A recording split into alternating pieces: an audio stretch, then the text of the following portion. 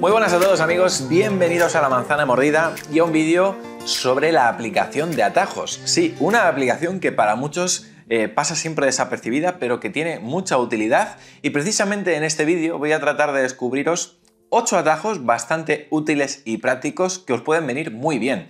Son atajos que, bueno, posiblemente los que sois asiduos a los vídeos de este canal, a lo mejor algunos ya los conocéis porque los he nombrado en el pasado, pero bueno, he añadido otros nuevos que he ido incorporando en mi aplicación de atajos a lo largo del tiempo y que hoy voy a compartir con vosotros. Así que, venga, poneos cómodos, que empezamos. El primer atajo es este que yo he llamado ajustes de Wi-Fi y nos va a permitir algo muy práctico y es el poder elegir si queremos activar y desactivar los datos móviles en función de si queremos activar a la vez o desactivar el Wi-Fi. Aquí estáis viendo cómo eh, se nos muestra el atajo una vez lo activamos y simplemente elegiríamos la opción deseada. Como yo ahora tengo activado el Wi-Fi, voy a hacer el ejemplo desactivándolo. Entonces, se desactivaría el Wi-Fi y se activarían los datos móviles. Y muchos diréis, bueno, pero ¿qué sentido tiene un atajo si podemos hacerlo desde aquí? Bueno, resulta que cuando activamos o desactivamos desde el centro de control estos ajustes, se desactivan temporalmente, no de forma permanente. Este atajo lo que hace es desactivar estas opciones de forma nativa y permanente, por si queremos estar más de varias horas eh, con estas funcionalidades desactivadas. Además, si tú este ajuste lo combinas en un iPhone 15 Pro con el botón de acción. Yo, por ejemplo, podría elegir en este caso dentro de mis atajos el que yo he llamado, vamos a ver si lo encuentro, que estoy ciego, ajustes de Wi-Fi. Si yo activo el atajo pulsando el botón de acción, incluso esto lo podría hacer con el iPhone bloqueado, lo cual pues me permite ahorrar mucho tiempo. Continuamos y el siguiente atajo se llama iFrames. Este atajo os va a ser muy útil si sois usuarios que alguna vez eh, habéis querido compartir capturas de pantalla en vuestras redes sociales de una forma mucho más estética y que, por ejemplo, pues se vea el marco del iPhone y no simplemente la captura. Este es un atajo que no es mío, ¿de acuerdo? Este es un atajo que yo también descargué eh, pues eh, a través de un artículo, no sé de qué página lo recopiló y que, bueno, me resultó muy útil y me lo guardé. Y bueno, hoy lo voy a compartir con vosotros. Aquí estáis viendo, por supuesto, los créditos al autor original. Vale, cuando activemos el atajo, que lo podemos hacer por supuesto desde aquí o desde un icono en la pantalla de inicio o desde el botón de acción, pues nos va a preguntar lo siguiente. Si queremos elegir una fotografía que tengamos guardada en la app de archivos, en nuestra biblioteca de fotos o que automáticamente detecte la última captura de pantalla que tengamos en fotos. Yo, por ejemplo, pues voy a irme a la app de fotos y voy a elegir, pues por ejemplo, esta fotografía. ¿Vale?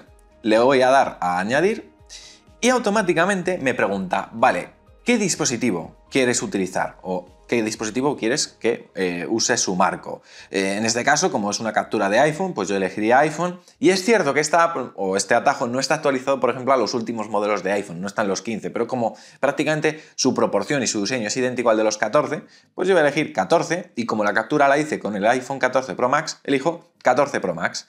Listo, ya se ha realizado la edición de esta captura de pantalla. Entonces, ahora lo siguiente que me está preguntando el atajo es qué quiero hacer con esa fotografía resultante. Si guardarla en fotos, en archivos, en el, en el portapapeles, compartirla o ver un preview y luego salvarla en fotos. Pues yo la voy a guardar en, en fotos, perdón. Entonces, si yo me meto ahora a mi biblioteca, la última foto es precisamente esta captura de pantalla que acabamos de crear con el marco del iPhone. Una cosa buena que tiene el atajo es que incluso te permite combinar varias fotografías. Si yo elijo, por ejemplo, la misma ruta y yo en vez de usar solo una foto uso esta y esta y le voy a dar a añadir, me va a hacer las mismas preguntas. Yo le voy a dar a iPhone, le voy a dar a iPhone 14, voy a darle iPhone 14 Pro Max y aquí, como detecta que son dos capturas de pantalla, le voy a decir que quiero combinarlas. Entonces, como quiero que sea una combinación en horizontal, le voy a dar aquí a horizontal y me dice cuánta separación quiero entre captura y captura. Además ya me hace una recomendación, elige el 50 que es el mejor. Pues venga, elijo el 50, entonces guardo el resultado en fotos, me vengo aquí y Ahora se ha creado este montaje con dos capturas de pantalla con dos marcos para iPhone y esto si luego lo pasas a un artículo web, a una red social o por mensajería, pues va a lucir mucho mejor. Vamos con el siguiente que se llama Ultimate Control Center. ¿Por qué se llama así? Bueno, pues porque te permite tener muchas herramientas en un, digamos, único sitio. Entonces, yo cuando lo activo, automáticamente también se me va a cargar un menú en la parte superior donde vamos a poder elegir entre diferentes opciones. Debo decir que este atajo ya es un poquito viejo y hay algunas funcionalidades que no funcionan bien, como por ejemplo la pestaña de utilidades, que a mí por ejemplo no me funciona. Pero si yo por ejemplo le doy a Network Tool, pues podría ver diferentes opciones relacionadas con mi conexión. Como yo acabo de desactivar ahora mismo el Wi-Fi, pues no me funciona. Pero eh, si tuviese el Wi-Fi activado, pues podría ver por ejemplo la IP de mi conexión, podría hacer un test de velocidad, incluso podría compartir por un QR el Wi-Fi de mi casa. Si le doy a Ultimate Battery, incluso aquí podría precargar algunos ajustes relacionados con la batería. Ajustes que puedan estar relacionados con desactivar funciones del sistema que consumen mucha energía, incluso el poder visualizar datos de la misma. Por ejemplo, eh, la hora que es ahora mismo, la versión del sistema operativo que tengo, en este caso, por ejemplo, el porcentaje de batería restante y eh, podría pues, realizar también algunos ajustes más, como por ejemplo, relacionados en este caso con el atajo, como por ejemplo revisar si hay actualizaciones del mismo. Voy a darle para mostraros el atajo en funcionamiento, pues por ejemplo, ejemplo, con unas opciones que me han parecido bastante útiles. Por ejemplo, este de QR Option nos permite crear QRs para diferentes acciones. Imagínate que quieres compartir la contraseña de tu Wi-Fi, como os acabo de mostrar, con alguien. Pues bueno, desde aquí yo podría hacerlo. Podría dar la default eh, Wi-Fi network eh, le daría a Show QR y se mostraría. Yo no lo hago por motivos de privacidad, pero vamos a hacerlo con otra cosa, porque podemos crear QRs de cualquier historia. Por ejemplo, imagínate, eh, quiero compartir un número de teléfono, pues yo me lo invento, ¿vale? Pues hago esto, por ejemplo, le doy a OK y automáticamente se crearía un QR y esta parte cuando la escanea otra persona, automáticamente vería el texto, la imagen o lo que haya yo querido poner en este QR. Es una de las muchas utilidades que tiene este atajo, insisto. Mi consejo es que vosotros con tranquilidad lo agreguéis en vuestra app y vayáis uno a uno probando las diferentes opciones. Eh, yo qué sé, por ejemplo, foto edit. Eh, pues desde aquí podría incluso, imaginad que esto es muy práctico, compartir un vídeo a audio, o sea, convertir un vídeo a audio. Imaginad que de un vídeo queréis sacar un MP3, pues desde aquí lo podríais hacer. En fin, es muy muy práctico. Lo tenéis, insisto, en la descripción del vídeo, el atajo, por si queréis instalarlo. Vamos ahora a hacer una pausa de la pestaña de atajos para irnos a la pestaña de automatización. ¿Y qué vamos a hacer aquí? Bueno, vamos a enseñaros cómo funcionan las automatizaciones porque también son muy poderosas. Vamos a crear una automatización, por ejemplo, para mandar un mensaje automático todos los días a las 9 de la mañana. ¿Se puede hacer? Sí. Entonces, yo una vez he seleccionado ese apartado, pues a mí me interesa, por ejemplo, dentro de todas las opciones que me da Apple para crear automatizaciones, la que dice momento del día. Yo voy a elegir, por ejemplo, un momento del día concreto, que he dicho que va a ser las 9 de la mañana. Podría elegir la frecuencia, perdón, la frecuencia con la que eh, yo elegiría que este, eh, esta automatización funcionase, en este caso todos los días, pero podría elegir todas las semanas, incluso los días de la semana que me interesa, o todos los meses. Todos los días es lo que me interesa. Y aquí podría elegir si quiero que el atajo me confirme, o sea, me pregunte y yo confirme para que se ejecute o que se ejecute inmediatamente sin autorización previa. Esto es lo que me interesa, si no, no tiene sentido. Entonces yo le voy a dar a siguiente y aquí en esta pantalla que me acaba de aparecer, le voy a dar a donde pone nueva automatización vacía. Aquí lo que tendría que hacer es buscar la aplicación que me interesa. Podría hacerlo con cualquiera, pero a mí me interesa hacerlo con WhatsApp. Entonces yo aquí voy a poner WhatsApp. Entonces elijo, en este caso, la aplicación y ya me salen las diferentes acciones que podría hacer. A mí me interesa el de enviar mensaje. Entonces, ahora aquí simplemente tendría que poner el texto que a mí me interesa que todos los días se mande. Puede ser lo que queráis. Yo para la demo voy a poner buenos días. Y a los destinatarios a los que me interesa que esta automatización pues eh, les envíe ese, ese saludo cada mañana. Pues por ejemplo voy a poner Gonzalo Baz. Vale, le voy a dar a OK por supuesto, Gonzalo, acuérdate de difuminar tu número si no quieres que te llamen. Y podría darle al más si quiero que esto se envíe a más personas. Vamos a dejarlo así, le daríamos a OK y ya está, así de fácil. Automáticamente se ha creado una automatización que cada día a las 9 de la mañana le va a decir a Gonzalo buenos días. Vosotros podréis hacerlo con lo que queráis. Venga, vamos con otro ejemplo, para que veáis el potencial que pueden tener las automatizaciones. Vale, he, borrado la que acabo de crear para no molestar a Gonzalo. Voy a crear una nueva automatización que ahora, por ejemplo, me sirva para que el iPhone me notifique cuando llegue a un sitio para que me recuerde algo. Vamos a crearla. Por ejemplo, aquí ahora me interesaría llegar, ¿no? Crear una automatización que consista en que cuando llegue a una zona me avise. Aquí elegiría la ubicación. Yo, por ejemplo, voy a poner una panadería. Por cierto, a Gonzalo, acuérdate que acaba de salir mi ubicación encima del teclado del iPhone. Eh, entonces, difumínalo el Gonzalo que edita esto. Eh, vale, pues me lo invento. Voy a poner, por ejemplo, eh, pues yo qué sé, esta misma, que es una churrería, no sé si ahí venden pan, ¿vale? Pero bueno, pongo eso. Le voy a dar a OK. Bueno, antes de darle a OK, desde aquí podría graduar el rango de distancia con la que la automatización va a detectar si tiene que activarse o no, ¿vale? Pues en ese rango de distancia, si me detecta, se activaría. Le doy a OK y ahora aquí puedo elegir cuándo quiero que esta automatización automatización, perdón, empiece a funcionar. Si en cualquier momento, cuando pase por esa hora, o si por ejemplo es una zona donde yo paso mucho, pues que solo me avise por las mañanas o por las tardes. Esto ya como se interese. Aquí también yo creo que lo que interesaría es que se ejecute inmediatamente, que no sea necesario que tengamos que estar confirmando, sí, avísame, porque entonces qué sentido tiene. Vale, entonces que se ejecute inmediatamente, le daríamos a siguiente. Y aquí vamos a poner nueva automatización vacía, damos a buscar y aquí vamos a poner notificación. Mira, aquí ya me sale el script, mostrar notificación. Entonces, ahora simplemente, si es una, automatización para que me recuerde que compre el pan, yo aquí voy a poner, vamos a sustituir esto, recuerda comprar el pan.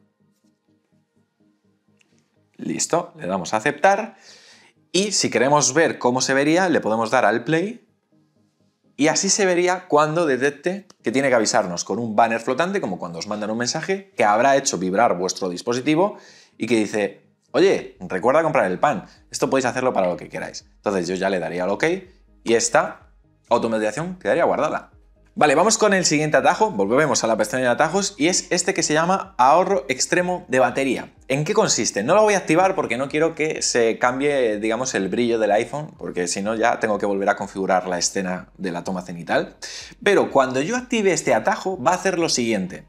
Va a definir el brillo del iPhone al 10%, va a activar el modo de bajo consumo, va a desactivar la conexión Bluetooth, va a desactivar el Wi-Fi y va a desactivar los datos móviles todo de una sola vez.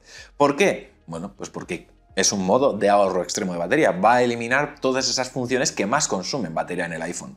Por tanto, esto conviene activarlo en todo caso cuando mm, pues tengáis serios problemas para llegar con batería a vuestra casa y simplemente queréis el teléfono por si os tienen que llamar y poquito más. Insisto, os puede venir muy bien este atajo. El siguiente atajo lo vamos a poder encontrar dentro de la galería de atajos de Apple, ¿vale? Y es un atajo que nos va a permitir poder identificar muy rápidamente canciones, que esto, pues imagínate que estás en un centro comercial, en una tienda, la típica tienda, que pone música siempre y dices, ostras, esta canción cómo es, y tienes que activar rápidamente el Shazam. Bueno, pues nos vamos a galería y si aquí ponemos Shazam, eh, nos salen, por ejemplo, dos, dos sugerencias. A mí me interesa esta que pone Shazam y guardar. Entonces, yo le voy a seleccionar, le voy a dar a configurar atajo y desde aquí ya lo primero que hace es preguntarme qué quiero hacer, ¿no? Pues yo quiero que las canciones que identifique con este atajo me las meta en una lista de reproducción que sea mis pistas de Shazam, ¿vale? Yo ya la tengo ahí preparada. Le voy a dar a añadir atajo y se me guarda. Entonces, si yo salgo de aquí y me voy a mis atajos, ahí vemos el atajo que se me acaba de guardar. Entonces, imaginemos que yo estoy en una tienda, ¿vale? Y escucho esta canción.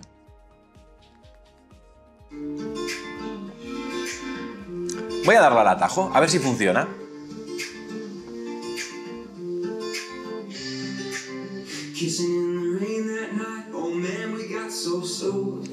Funciona. Vale, automáticamente el atajo ya me ha detectado que es Heart and Soul de Mar Entonces, bueno, la primera vez que lo uséis, obviamente te va a pedir permisos, yo le voy a permitir siempre. Y listo. Lo que ha hecho el atajo automáticamente es guardarme en mis pistas de Shazam, vamos a comprobarlo. Me voy a playlist, me voy a mis pistas de Shazam y ahí está Heart and Soul de Mark Robilar en mi lista, ¿vale? Esto es un atajo que, bueno, os puede venir bien en un momento dado. Vale, el siguiente atajo no es un atajo en sí, sino una forma que vais a tener de hacer con la app de atajos, eh, pues que una página web parezca una aplicación, ¿vale? Una página web que oye, a lo mejor no tiene app propia, pero vosotros queréis que la tenga. Vale, pues le voy a dar al más. Eh, aquí en añadir acción, pues eh, vamos a usar el buscador para darle a abrir URL. Y aquí busco donde pone abrir direcciones URL. Una vez hemos añadido este script, simplemente le daríamos a URL y yo ya tengo pegado en el, o sea, copiado en el eh, portapapeles la URL que me interesa. Yo, por ejemplo, voy a agregar en mi pantalla de inicio el chatbot de inteligencia artificial Cloud, que por desgracia, pues ahora mismo no tiene una aplicación propia, ¿vale? Pues listo, yo ya lo he puesto ahí, le voy a dar a aceptar y aquí voy a ponerle el nombre que me interesa. En este caso, pues voy a poner Cloud.